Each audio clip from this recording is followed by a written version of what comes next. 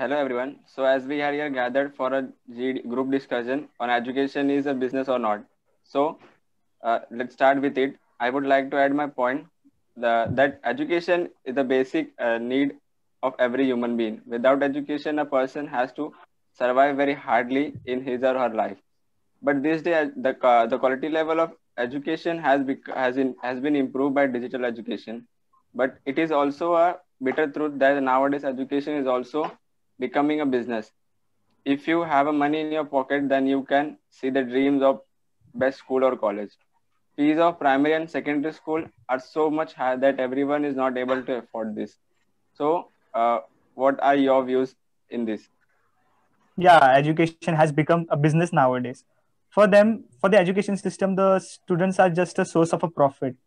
If we see nowadays, the uh, technology is growing faster and faster and because of this the parents want the child to be educated more. They admit him to most renowned institutions and colleges. And also talking about the first step of education that is the kindergarten. The average fees of the students in kindergarten is almost 10000 and their max to max they teach them how to eat how to sit and some extra curricular activities. So it's look like that education is a commission not a mission. I would like to add a point to what pankaj said. Even during this covid pandemic the schools are incurring full payment of the fees. Even though their premises are not being used their electricity bills are not been that much as it would have been if students were attending offline lectures. All of them are attending online lectures. The only expenses the school trustee or the authority has is the payment of the teachers. Even though after that they are they aren't reducing the fees that they uh, you uh, that they of the students, which I think which uh, should be re- reduced. They are trying to earn profits in these difficult times also, which I feel is bit inhuman. Yes, I would like to raise one question is that uh, why why the education system is not uh, equally uh, we can say equality for everybody students. Okay, why the IITs are why the IITs uh, colleges have good faculty? Why the university or we can say BTech colleges has not that uh, faculties that, uh, that that are similar as IITs? Okay, why so why why that discrimination between between them and us? Uh, instead we are instead we are paying the same fees as of IITs only. But why we are not getting equal education as that of does anybody know why what would be the reason for this? Yes the motive uh, because the motive uh, every every institute should have a motive that uh, uh we should provide a best education is, uh, uh, to the student so that we can dream of a developed india. But the most of education industry taking so much money for admission uh, admissions. Because of this talented uh, because of this talented and poor students are not able to join the best institute. In spite of that there are a lot of good tutors doing tremendous work in the field of education. Like mr anand kumar Physics Wallah etc we have to do appreciate efforts of this paper. When the education is, education is a need of every child but because of lack of resources most of kids are not going to school as Anmol said, uh, why IIT is taking IIT and uh, BTech is having both same fees but uh, not giving same education. As a, in, I will consider uh, IIT the quality of professor teaching, giving example is a very good manner and is a have proper proper way to explain them. But in our, our institute, the taking uh, taking students and uh, taking teacher like uh, not quality teacher. They are just uh, focus on completing syllabus not uh, not ensuring that the students are uh, uh, understood or not the concepts. As hence the education is becoming a business nowadays. As Atish said the quality of education is decreasing nowadays. So people come up with idea of coaching coaching classes which earn a separate amount of profit in their business so so the students have to pay twice as the amount to learn a single thing to the colleges as well as to the coaching classes. So, so in this way, uh, the education system is deg- degrading. degrading. I think it's Yeah, in India- Yeah, in India, it is considered that the government institutions are well and renowned, but also focusing on the government primary schools. If we see the government infrastructures and method of teaching in the primary schools are not up to the mark. I think uh, I agree with Pankaj. I think it's government responsibility to establish sophisticated infrastructure and methods of teaching and learning in government schools. India spends around 2.4% to 3% in total uh, total of GDP from 2015 to 2019. If we compare this figure with other countries, we are not spending half of theirs. For example, Cuba, Norway, and Denmark they are spending around 12.9% to 7.6 to 12.9%.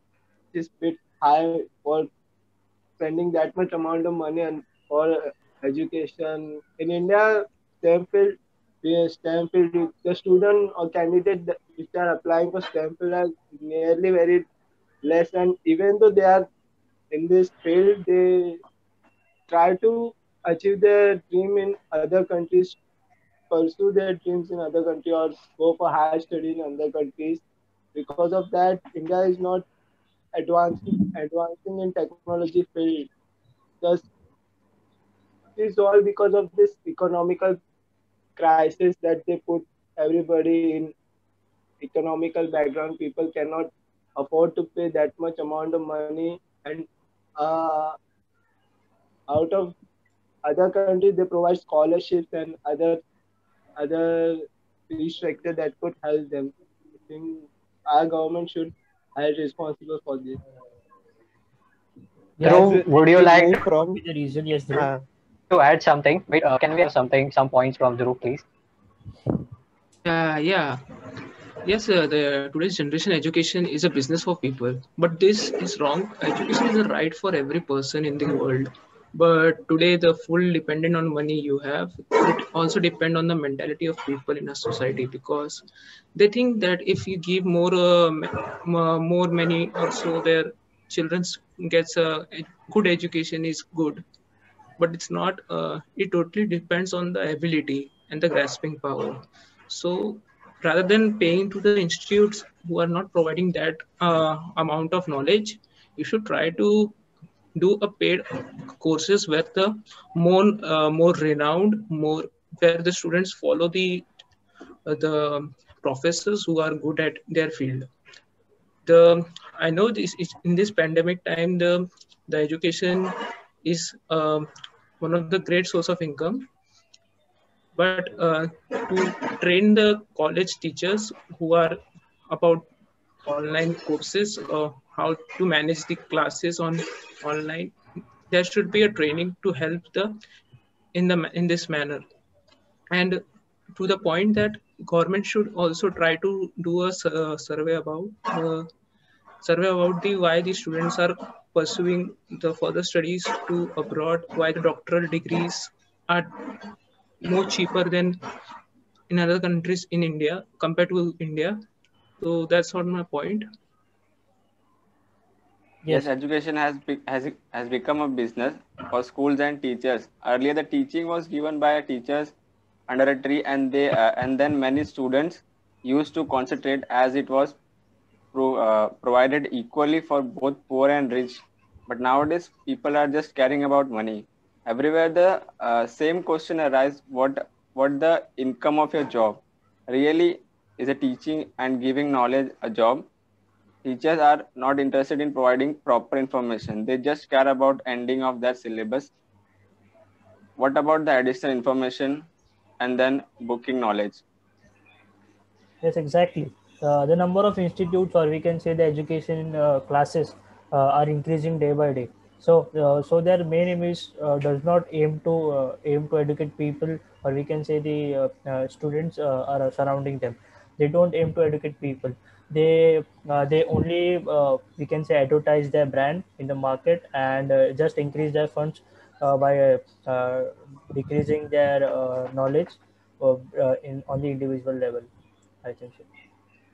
I would like to give an example of the point that Anmol made that they are increasing the branding. If you guys have observed that if a person tops IIT, all the IIT coaching, top coaching classes claim that that person took coaching from them. How is that possible? Do you guys think that is possible for you to attend five to six coaching classes? No. No. No. That's the point. So I would like to uh, say to Atish That's that whatever you're trying to keep it short uh, because we are almost out of time and we have to conclude. uh, education is be- becoming a business because of the not giving priority to the government colleges and government schools and uh, to and also the parents not focusing on the government they put not put their ch- child children in the government schools hence Still, I think that education. So let's now conclude. Yes, Let's now conclude our group discussion. So I think we- we all can agree that the education system in India has become an industry of just you incurring profits from the crowd or Indian people. I yes think we all can agree on that. yes yes sure Yeah. Yes. Yes. Yes. yes yes. So let's conclude our meeting. If anyone else would like to say anything. Yes, I would like to say one thing. Yeah. that we can eliminate this uh, business or we can does not say it is a business but we can eliminate uh, by uh, uh, eliminating the greediness uh, in the individual level of the person and by just increasing the uh, thinking level and uh, promoting the innovation for the students and providing more opportunities for the upcoming students uh, that are uh, coming uh, in the uh, 21st century and the uh, coming years thank you Thank you all. Thank you.